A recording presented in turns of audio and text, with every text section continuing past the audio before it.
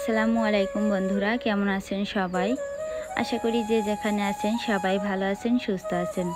আলহামদুলিল্লাহ, আল্লাহ পাকের অশেষ রহমতে আমরাও সবাই ভালো আছি।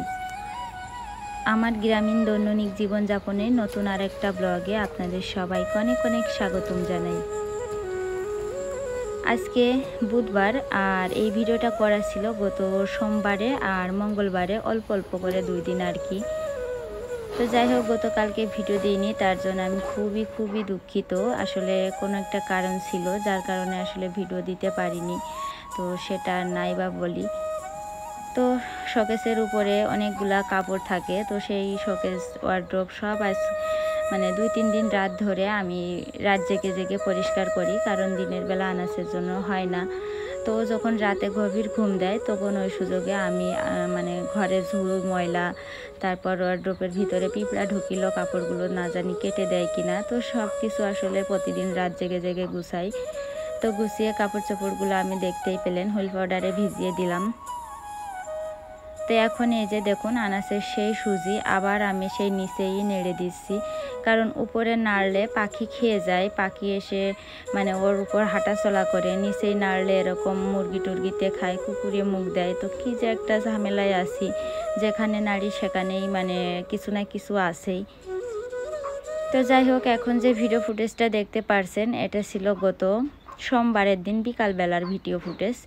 তো ওই দিন আমার গ্যাস সিলিন্ডার শেষ হয়ে যায়। তো দুপুরবেলা মানে রান্না টান্না করতে পারিনি, না খেয়েছিলাম। তারপরে এই যে দেখুন, বিকালবেলা আনা সেই সময় একটু ঘুমিয়েছে। তো ভাবলাম এই সুযোগে আমি চুলাটা কারও দিয়ে রান্নাঘর থেকে এখানে নিয়ে আসছি, ফাঁকা জায়গায় এনে। তারপরে এই যে রান্নার জন্য প্রস্তুতি নিয়েছি।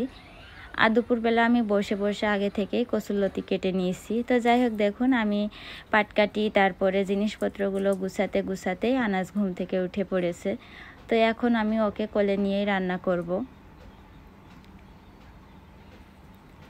তো প্রতিদিন আমার প্রিয় আপু, ভাইয়া, আঙ্কেল, আন্টিদের কাছে একটা অনুরোধ করে থাকি, দয়া করে সবাই একটি লাইক দিবেন এবং পুরো ভিডিওটি দেখবেন। একটুও কোথাও স্কিপ করবেন না। ইনশাল্লাহ আপনাদের মোটামুটি ভালো লাগবে। আর যে সকল আপু ভাইয়া, আন্টিরা, আঙ্কেলরা আমার ভিডিওটি আজকে প্রথম দেখছেন, দয়া করে চ্যানেলটি সাবস্ক্রাইব করে রাখবেন এবং পাশে থাকা বেল বাটনটি অন করে দিবেন। তাহলে আমি যখনই কোনো নতুন ভিডিও আপলোড দিব, ইনশাল্লাহ আপনাদের কাছে নোটিফিকেশন চলে যাবে। তো দেখুন, চুলায় আমি জালটা ধরিয়ে দিলাম। তো গ্যাস লাইট খুঁজে পাচ্ছিলাম না, বাড়ির গ্যাস লাইট। তো না পেয়ে পরে পাড়া থেকে নিয়ে আসলাম। এনে তারপরে এই যে এখন আমি রান্না চুলায় দিলাম। তো অনেক ধোয়া হচ্ছে। আমি চুলার সামনে বসে বসে উপকরণগুলো দিচ্ছি আর আনাজ তো আমার কলে আসেই আর এই দিক থেকে এই যে শেষে আবার জাল সরিয়ে দিয়ে যাচ্ছি। তো আমার চুলার পাশে যে সকাল সন্ধ্যা ফুল গাছটা দেখছেন মাসাল্লাহ কি দারুণ লাগছে, তাই না? আমার ভীষণ ভালো লাগছে। তো এই জায়গাটা আমার খুব বেশি পছন্দ হলো, এই জন্য রান্নাঘর থেকে চুলাটা আমি এখানে নিয়ে আসছি।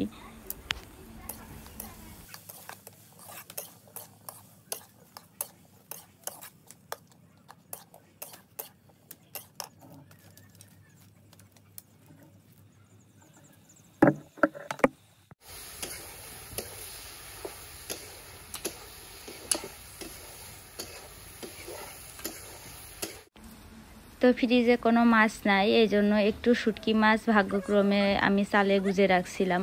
তো বয়ামে ছিল, বয়ামে থাকলে পিঁপড়া ঢুকছিল। পিঁপড়া থেকে রোদে দিই, রোদ থেকে উঠিয়ে তারপরে আমি চালে গুজে রাখছিলাম। তো হঠাৎ আজকে কসুলতি শুধুই রান্না করছিলাম, ভাবলাম যে শুধু রান্না করব। তো ভাবতে ভাবতে আবার মনে হলো যে না, চালের মানে একটু গুজে রাখছিলাম, চিংড়ি, শুটকি মাছ, দেখি তো পাই কিনা। তো গিয়ে দেখলাম পলিথিনে মুড়ানো আছে। তো যাই হোক, সেটাই যে আমি এখন ধুয়ে ভালো করে, পরিষ্কার করে এখন আমি চিংড়ি, শুটকিটা দিয়ে দিচ্ছি।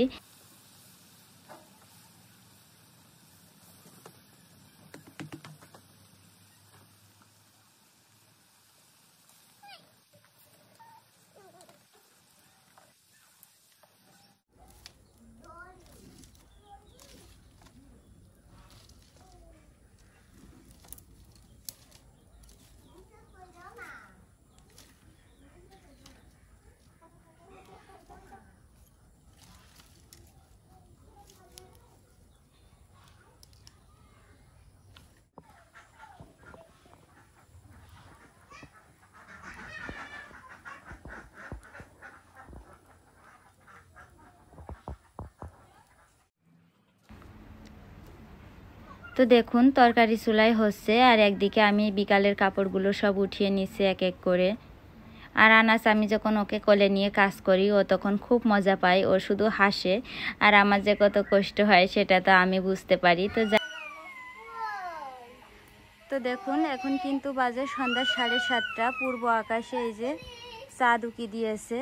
আর আমার কিন্তু এখনও পর্যন্ত রান্না হয়নি। তরকারি রান্না হয়ে গেছে, এই যে চুলায় ভাত হচ্ছে। আর ওই যে দেখুন, ওখানে আনাসের দলনার ভিতর রেখে রাফির বললাম, একটু ঝুল দাও আর বাদ বাকি আমি অন্য কাজগুলো করি। এত জোরে দিচ্ছ কেন? রাফি, এত জোরে ঝুল দিচ্ছ কেন আব্বু? এত জোরে ঝুল দিচ্ছ কেন?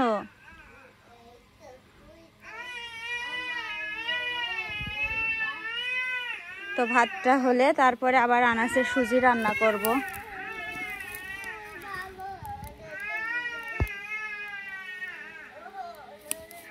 আনাসের সুজি রান্না শেষ করে তারপরে একবারে গোসল করে ঘরে যাব। পুরো কাপ মানে একদম মেক্সি, পুরো ভিজা, দেখুন। পুরো মেক্সি একদম ভিজে, একদম মনে হচ্ছে আমি গোসল করছি। এরকম পরিমাণে গা ঘেমেছে। তো যাই হোক, ভাত কয়টা হলে তারপরে গোসল করে পানি টানি নিয়ে একবারে ঘরে যাব। তো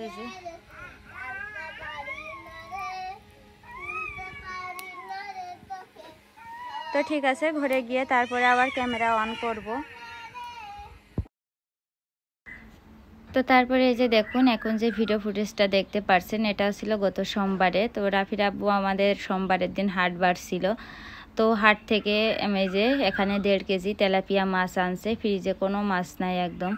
তো ও রাতের বেলা মাছগুলো আনতে বাজারে গেছিল, যার কারণে একটু দাম কম নিয়েছে। তো মাছগুলো কিন্তু একদমই তাজা মাছ।